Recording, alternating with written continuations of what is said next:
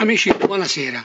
Riceviamo ora una dichiarazione ufficiale del portavoce del nostro ex premio attuale numero 2 nella quale si dice, il bravo Buonaiuti un po' in difficoltà, si dice che non ha potuto eh, presenziare a pubbliche dichiarazioni in merito al cataclisma odierno perché intorno alle 4, alle 4 e mezzo, mentre stava guardando le prime proiezioni, gli è rimasto un osso di traverso. Questo naturalmente gli ha creato problemi, diciamo, di afonia.